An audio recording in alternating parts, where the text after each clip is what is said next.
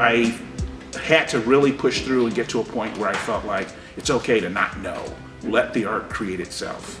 Uh, and, and be okay with where you end up. The works that I produce currently, some of them are representational, some of them are abstract.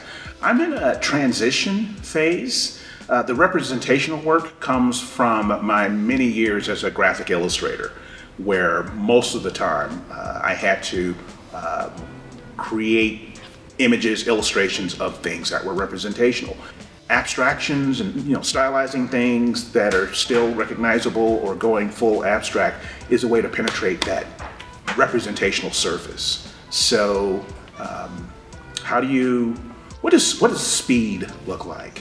What does fear look like? That sure you can there are ways that you can convey those things, human emotions, uh, representationally, but I feel like they have more impact, could have potentially more impact if you do so in a kind of an abstract sense. I will mix sand into some of my paintings and I call it placed based meaning. So, for example, I have some sand from Ghana on the coast adjacent to one of the old forts where enslaved people used to be held before they were transported uh, across the Atlantic.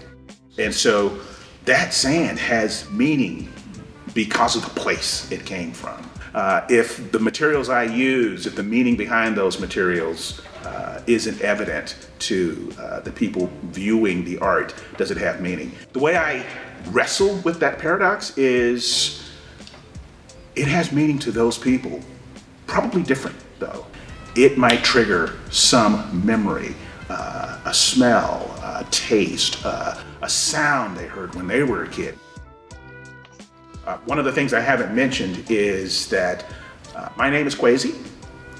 I have another name, my given name uh, at birth, and I still use that name. When I am in my creative space, I am Kweisi. When I'm at my job or elsewhere, I, am using my uh, given name. Uh, and so it, it really uh, grounds me and binds me to the creative practice the word practice is something I typically associate with, like a medical practice or a law practice.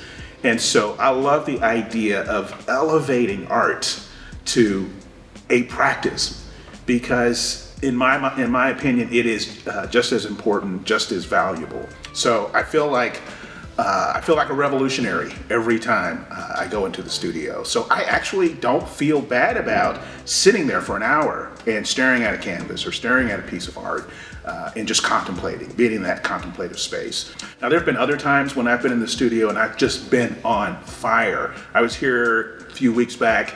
It was a Saturday, so I'd been here for hours working. I have a flock of chickens at home, and it's important to lock up the chicken coop at night to keep the snakes and the rats and the raccoons out. And I was really struggling because I was just burning. I mean, I was into this painting and I was just having such a good time.